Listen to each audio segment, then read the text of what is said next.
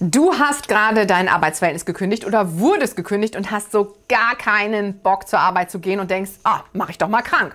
Ist das eigentlich gefährlich? Das erkläre ich dir in diesem Video.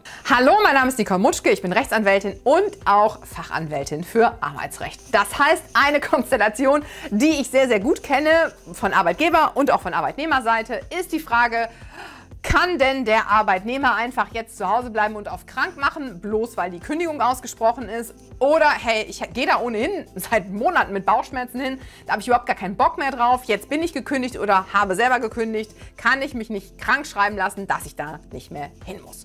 Ja, diese Konstellation, die gibt es ja, ich glaube, so lange es Arbeitgeber und Arbeitnehmer gibt. Und ja, ich sag mal, äh, haben wir selber auch schon öfter, dass wir sozusagen auf der einen oder anderen Seite dann beraten. Und hm, die Situation mag ein bisschen unschön sein, rechtlich ist sie ziemlich klar. Denn tatsächlich ist es so, dass der Arbeitnehmer natürlich weiter, solange das Arbeitsverhältnis besteht, seine arbeitsvertraglichen Pflichten einhalten muss.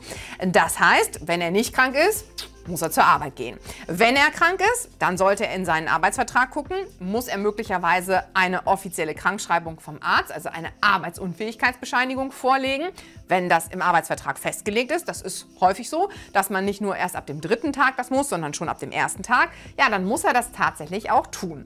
Aber ist das der Fall? Also sprich, habt ihr eine AU vom Arzt als Arbeitnehmer, dann, liebe Arbeitgeber, jetzt müsst ihr ganz tapfer sein, kann man fast nichts machen als Arbeitgeber. Denn natürlich so eine Arbeitsunfähigkeitsbescheinigung von einem Arzt die ist schon ein Fund. Ne? Also da muss man erstmal als Arbeitgeber gegen anstinken und das ist mega schwierig. Es ist nicht ausgeschlossen. Ihr kennt sicher die Fälle, die irgendwie so auch durch die Öffentlichkeit gegangen sind, bei irgendwelchen Dschungelcamps, wo dann jemand krankgeschrieben war und eigentlich in Australien ja, sagen wir mal Urlaub gemacht, weiß ich jetzt nicht. Aber ihr wisst, was ich meine.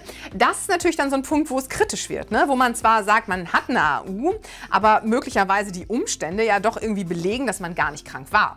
Dann wird es kritisch. Aber ansonsten wird es für den Arbeitgeber sehr, sehr schwierig. Also sprich, wie soll er denn belegen, dass ihr nicht krank seid? Es gibt einen Arzt, also der natürlich viel, viel qualifizierter ist als der Arbeitgeber im Zweifel, was medizinische Belange angeht. Und der hält euch für krank, der hat eine Krankschreibung geschrieben, also richtig viel passieren kann da nicht.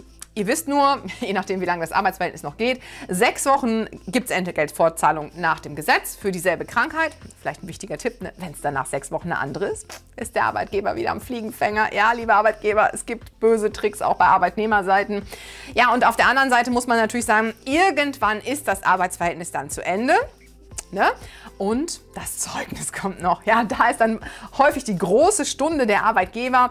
Denn, hm, ich sag mal, auch da gibt es Rechtsprechung. Ich will jetzt nicht darauf so groß eingehen, aber ich sag mal, im Mittelfeld liegt die Wahrheit. Alles, was besser ist, im Grundsatz muss der Arbeitgeber, äh, muss der Arbeitnehmer natürlich, sorry, beweisen. Und alles, was schlechter ist, der Arbeitgeber. Aber im Mittelfeld möchten die wenigsten Arbeitnehmer liegen und ah, da sollte man vielleicht dran denken, wenn man sich sehr, sehr lange krank schreiben lässt. Ne? Also in diesem Sinne, man trifft sich immer zweimal im Leben.